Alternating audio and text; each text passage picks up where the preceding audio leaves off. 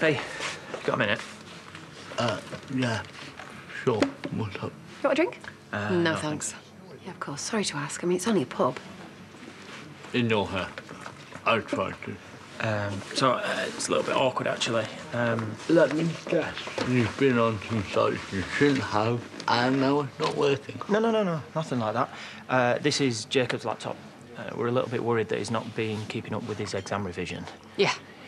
Yeah, and we were wondering if there's anything that you can put on it so we can, um, you know, keep an eye on what he's been up to. You mean spy on him? I don't think so. Okay. Sorry to put you on the spot. So it's, it's okay. I mean, I just wouldn't feel comfortable, to be honest. No, we understand. Yeah, but desperate times call for desperate measures, eh? You said it's just so you can make sure he's providing. Nothing else. No, no, no, nothing else. Just uh, make sure he puts the hours in. Okay, there might be something that I can install. Oh, seriously? Yeah, leave it with me. I'll um, I'll let you know when it's done.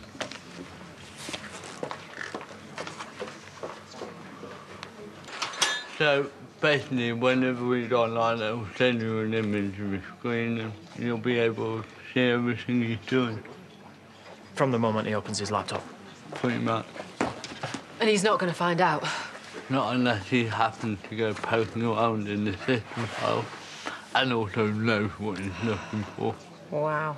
Poor kid. We're just using this to keep track of his studies. Well, even so, who knows what he might discover a boy his age? Thanks, Ryan. This is amazing. I won't go that far. Yeah, well, either way, it's really going to help put my mind at rest. About his revision. Yeah, but But well, um, I've got to go. Have you? Yeah, uh, I've got a few upgrades sorted in the factory. how much do we owe you? Don't worry about it. Um, he'll send you the bill, yeah? I've got a bad feeling about this. Yeah, well, I don't like it any more than you do. What about if he finds out? He won't. Look, this is about his safety more than anything. Believe me, he's going to lead us straight to her. Know that for sure, do you? Well, have you got any better ideas? Because I'd really love to hear him at the moment if you have. Would you? Okay. I think we should go to the police and let them deal with Maya. No, that's not going to work for me. And then we can focus on getting Jacob to see her for who she truly is. Bella, I want answers from Maya too. If the police get to her first, I'm not going to get the chance. What about if you're wrong? What about if Jacob don't get in contact with her? He will.